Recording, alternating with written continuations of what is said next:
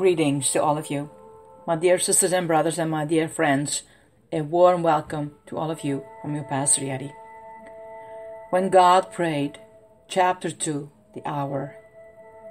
I think it is very important to understand the significance of this specific moment in the life and ministry of the Lord Jesus. This was no ordinary time. In John 17:1, Jesus prayed, "The hour has come."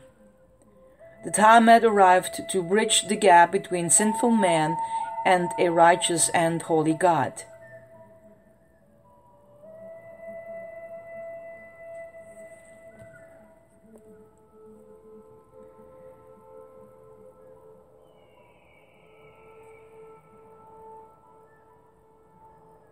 When Adam and Eve sinned against God, the levee was breached. The wonderful relationship that had existed between God and man, seen so magnificently in God's fellowship with his creation in the Garden of Eden, was ruptured and rendered useless. Prior to that hour, that was unheard because there was no wages to pay. But after the breach, the floodgates opened, and from then on that became the persistent drumbeat of every person born who is to die. The waves of sin had been set in motion. Until this moment, the moment that Jesus sat in the garden and prayed to the Father. The hour has come, Jesus announced. The floodgate was about to be closed once and for all. What exactly did Jesus mean when he spoke of his hour? We will consider this hour from four perspectives. It was an eternal hour. So much can be said about the hour of Jesus' appointment with death. For one thing, it was an eternal hour because it pointed not to any human understanding of time and space, but rather to the sovereign action of a sovereign God who acted before time began. When Jesus announced to the Father that the hour has come, he was not informing God about something he did not already know. This is why we are hearing God pray. This was not a conversation about information. God already knew because he was hearing from himself in the flesh. Yes, Jesus is speaking to the Father in his role and capacity as the Son of Man. But he had not capitulated his nature. Jesus Christ has changed his states, but he did not exchange his existence. When Jesus became flesh, he willingly entered a human time zone. As such, this was a human hour. But he did not cease to exist as God in the fullness sense including God's eternal timelessness. This moment most certainly pinpointed a human element of time and space, while some of Jesus' activities as a boy established the discrepancy between his earthly mission and his heavenly status. The wedding feast at Cana in Galilee was where the differential was clearly seen for the first time in his earthly life and ministry. The biblical account in John 2 tells us that Jesus' mother approached her son immediately when the news was announced that the wedding wine had begun to run out. The predicament was obviously was obvious back in their day wine cellars were unheard of let alone refrigeration. The fruit of the vine was not only in short supply, but when harvested was served with great haste. it followed logically that the best wine would have been served at the front end of the wedding, not the least of reasons because it could spoil.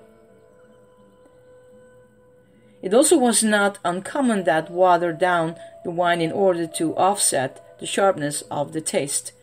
And yet, as time progressed, the best wine began to run out, the master of ceremonies was entrusted with the responsibility of gradually introducing more and more water so that the supply of wine would last for the duration of the feast. And note that Jesus, that the Lord Jesus did not treat his mother with contempt or rudeness in his question of her. What has this concern of yours to do with me, woman? John 2 verse 4.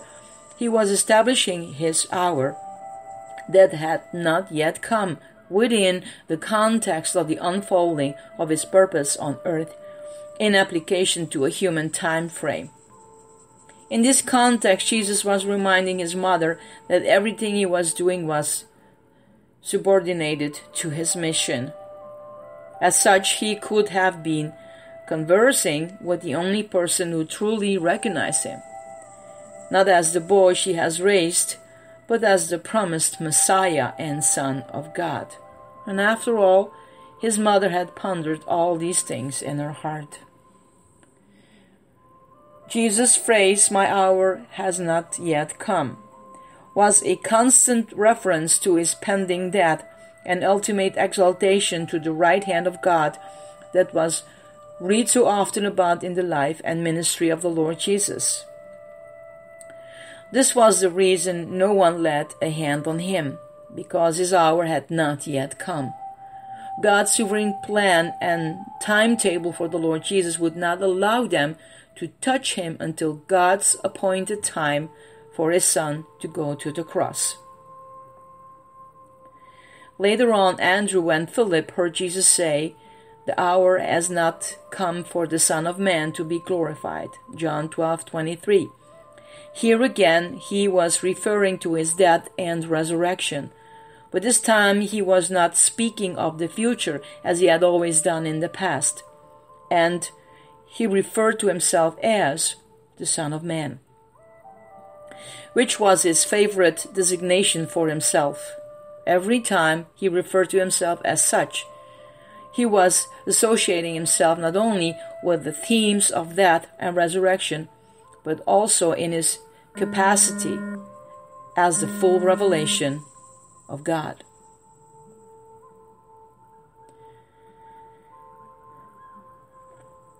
It was a human hour. God has always been the God of order, not chaos. From the beginning of time, our Father has orchestrated events and happenings according to his purpose. He works all things together in order to conform us to his plan of actions. You can search Romans 8:28 for that. So while this was most certainly an eternal hour, it was a human hour as well. The unfolding events were chrono- uh, chronological. From the time Jesus was born in Bethlehem, he walked the chronology of God's timetable in the footsteps of a man. And every time we visit the land of Jesus' birth, we will follow the way of the cross step by step, station by station, moment by moment. We feel his pain and experience his agony as he prays in the garden. We all hurt because his disciples fell asleep and could not wait for him and now the hour had come. It was a sacrificial hour. This moment in time also represented the hour of Jesus' greatest sacrifice. Most certainly, he had sacrificed to an extreme by laying aside his glory. Most certainly, he had sacrificed to an extreme by coming, becoming human flesh. But the climatic moment of his sacrifice was approaching, and he knew it. When he prayed, we are listening to the heart cry of the Son of Man being confronted with the reality of his impending agony. And much earlier, Jesus set the stage. Jesus replied to them, The hour has come for the Son of Man to be glorified.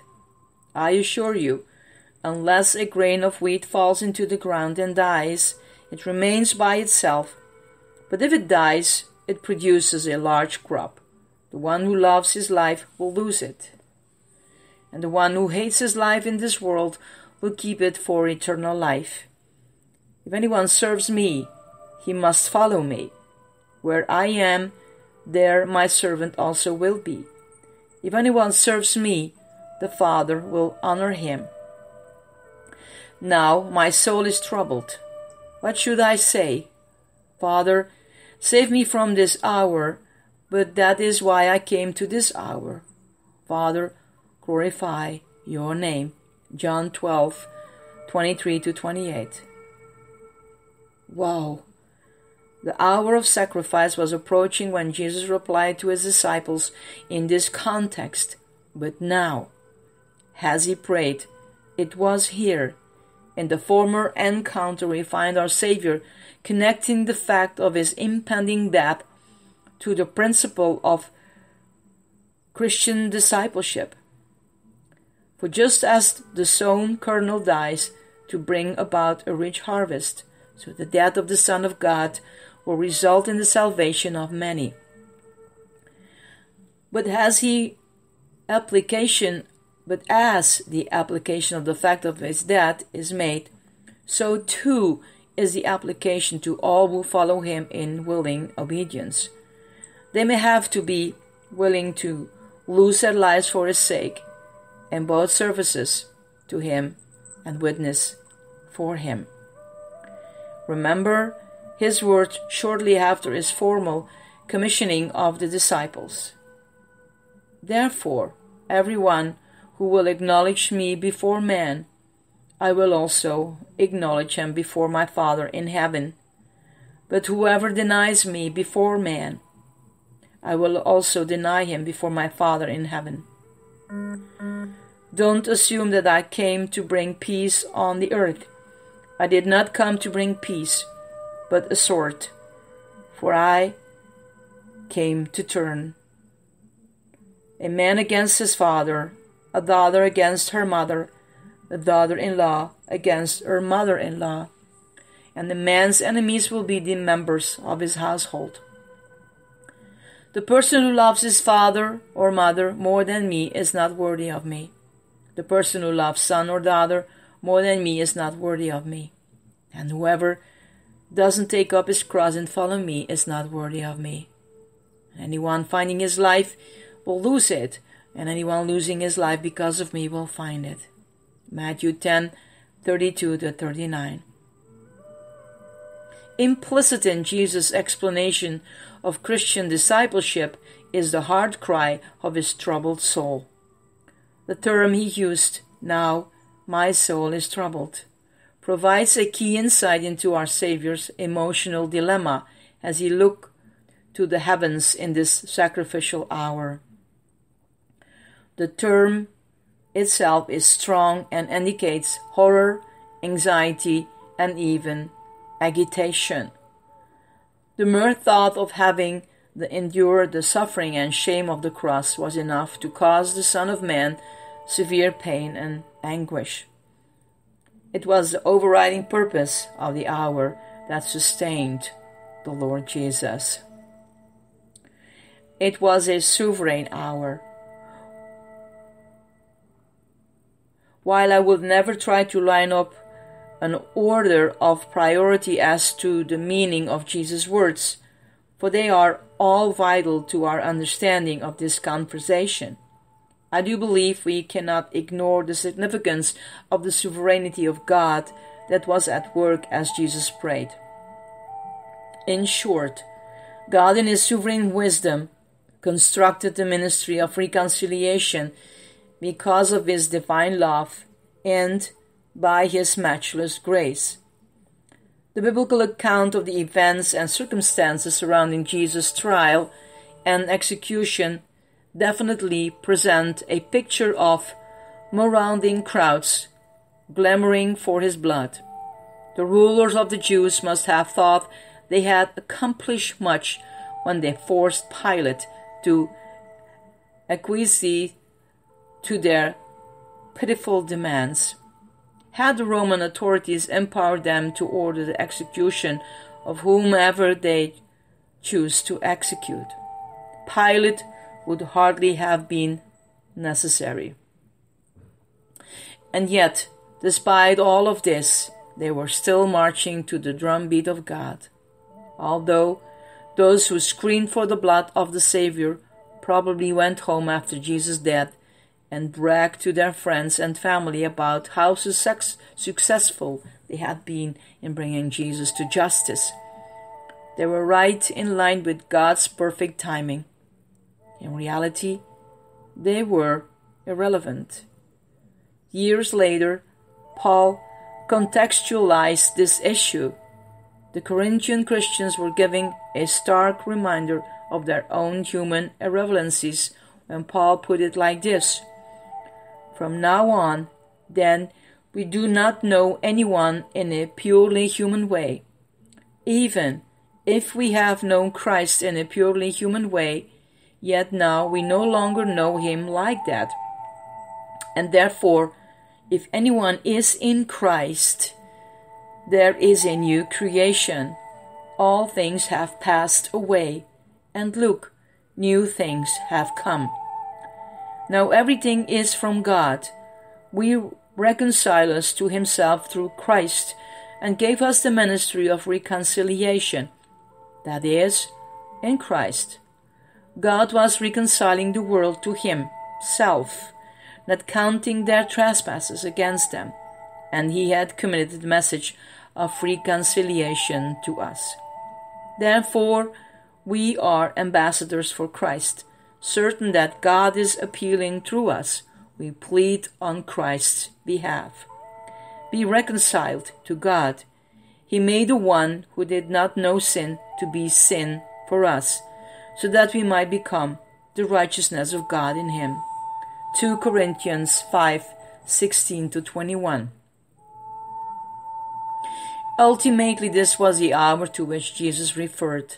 It was God's hour, planned by God, designed by God, carried out by God through the person and work of His Son, the Lord Jesus Christ.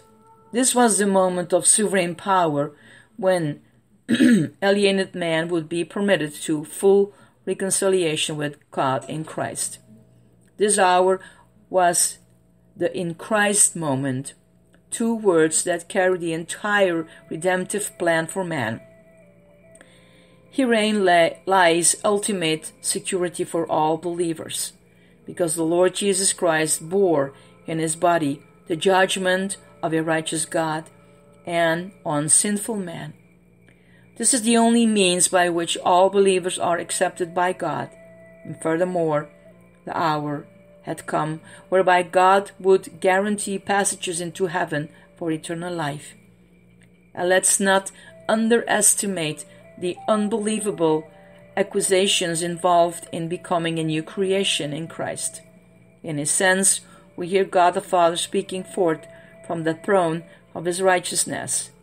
From this hour on, all people from whom my son will die will be totally forgiven of all sin, will be guaranteed a place in heaven with me forever, and will be granted all the rights and privileges I have conferred upon the one in whom I am well pleased. The key, of course, to Jesus' hour of death lies in these verses because they summarizes the heart of the gospel message in two ways God's imputed righteousness and Jesus' substitutionary death. God's imputed righteousness. This was the hour at which God would no longer count the sins of man against him. The hour he was speaking of not only pointed to the actual activity related to his death, on the cross, but also to the resultant action it produced. Herein lies the heart of the doctrine of justification, which basically tells us that when we repent of our sins and place our faith and trust in the Lord Jesus Christ, God declares the repentant sinner righteous because he has been covered by the sacrifice of Jesus. This is how we become reconciled to God. Jesus' substitutionary death.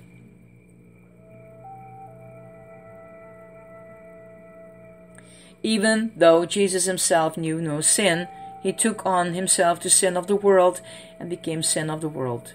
Here we see God the Father using the principle and action of imputed righteousness in treating his Son as though he was a sinner, even though he was not. That is why he made the one who did not know sin to be sin for us.